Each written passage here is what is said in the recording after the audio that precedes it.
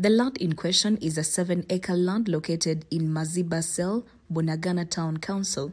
The locals say that their grandfather gave the said land to National Agriculture Research Organization, also called NARO, in 1940s to set up a demonstration farm. When NARO left, the land was handed over to Muramba Sub-County and when Bunagana Town Council was created in 2018, Maziba Demonstration Farm was among the assets handed over to the Town Council.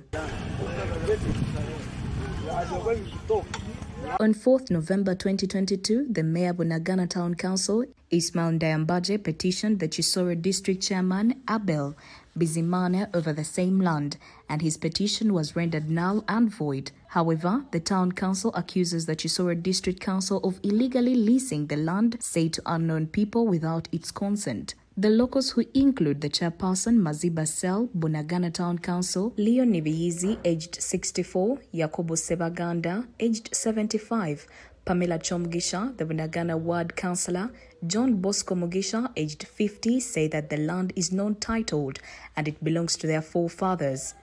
They say they will do everything within their reach to block the lease or sell off the land. All land and property should be belonging to the town council. Even the taxes belong to the town council. That is a local action policy that we have been living with. When I approached them and the RDC responded, and that they said I was jealous, and they said he could toss me back into the truck. That's when I begged them to hold on, and then I informed him I was the chairperson of the area. This land was for our grandfathers. It had nursery beds, potatoes, and other crops. The mayor of Bunagana Town Council, Ismail Ndayambaje, says the town council will seek interpretation of the law from the Solicitor General to ascertain the true ownership of the land.